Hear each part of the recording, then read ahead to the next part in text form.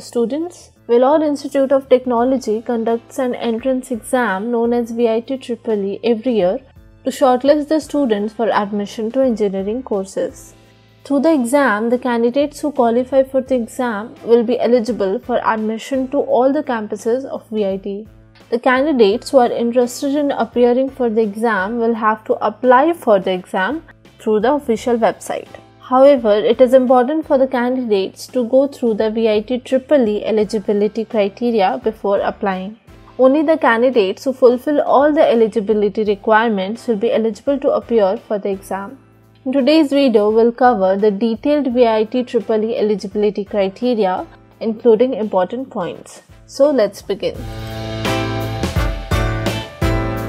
First, let us look at nationality eligibility criteria for VIT EEE. In order to be eligible for VIT EEE, the applicant should be a resident or non-resident Indian national or PIO. If foreign candidates want to apply for VIT EEE, they'll have to apply directly through foreign category only.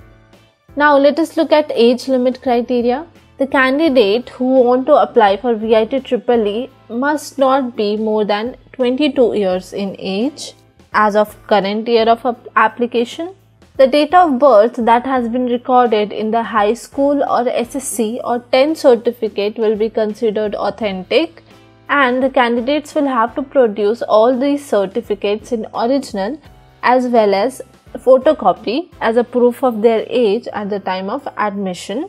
If the candidate fail to do so, they will be disqualified.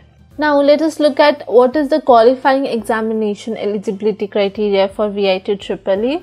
The candidates who wish to apply for VIT EEE must have passed 10 plus 2 from any recognized board, be it CBSE, ICSE, or any state level board, or the candidate must have passed intermediate or two year pre university examination conducted by a recognized board or university, or the candidate should have cleared high school certificate examination of the Cambridge University or International Baccalaureate Diploma of the International Baccalaureate Office, Geneva, or the candidate must have obtained General Certificate Education exam that is from London or Cambridge or Sri Lanka at the advanced A level. As per the VIT norms, regular NIOS board candidates are also eligible for VIT EEE. Such candidates will have to produce the migration cum transfer certificate at the time of joining. Note that the candidates will also have to submit the marks secured in physics, chemistry, mathematics, English, and the total subjects and upload the scanned copy of mark list and other relevant documents whenever available on the application form. Now, let us look at how much marks is required in qualifying examination in order to be eligible for VIT EEE. The candidates who belong to general category must have secured a minimum aggregate of 60% in physics, chemistry and mathematics or biology in the qualifying examination. For reserved category candidates such as SC, ST and others, the candidates must have secured a minimum aggregate of 50% in physics, chemistry and mathematics or biology in the qualifying examination.